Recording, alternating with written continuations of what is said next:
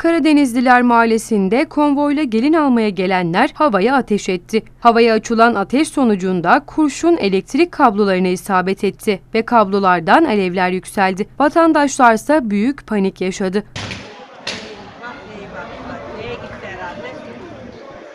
Evet ya. Yaşanan olay nedeniyle mahallenin elektriği kesildi. Ekiplerin kabloyu onarması sonrasında mahalleye yeniden elektrik verildi. Olay sebebiyle kimsenin yaralanmadığı öğrenilirken o anlar kameralara işte böyle yansıdı.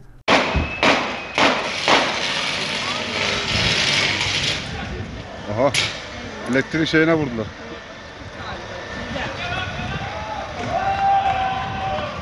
Elektrik teline vurdular.